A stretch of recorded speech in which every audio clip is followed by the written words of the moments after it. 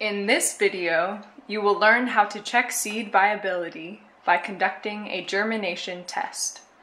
Testing for viability is important to anyone who collects or stores seeds for any reason or any length of time.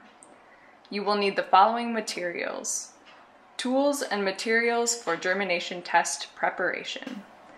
Distilled, filtered, or bottled water, ethyl alcohol, 70% or stronger, 10% bleach solution, paper towels, plastic long-necked squeeze or wash bottles, a liter bottle graded or marked, one small wire strainer, one empty bowl or receptacle, a small receptacle for soaking seeds, and a marker or pen.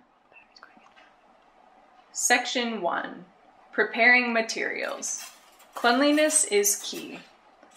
Your workspace should be thoroughly sanitized with 70 to 95% alcohol or 20% domestic bleach and a clean paper towel.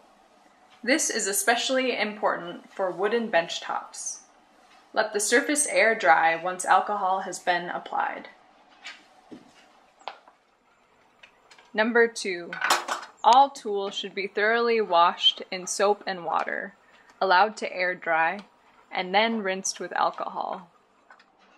You will need to mix a 1 to 10 dilution of commercial bleach to distilled filtered or bottled water. An easy way to mix your solution is to use a graded 1 liter container or mark a 1 liter bottle for yourself.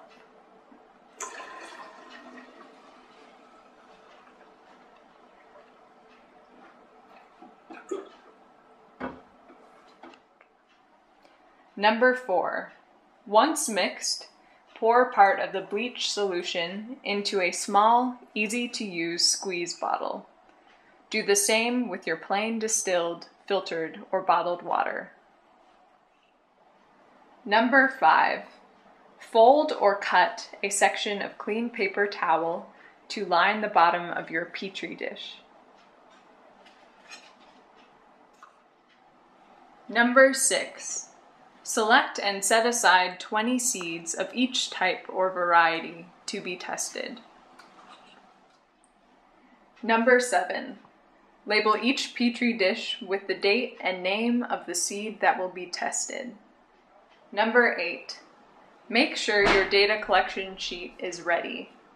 This can be a simple table or spreadsheet and should include A. The start date of your trial, B the names of the seeds being tested, C, and space to record the number of seeds germinated each checking day. You will check the seeds for germination the day after you plate them, and then every other day following, for a period of 14 days total.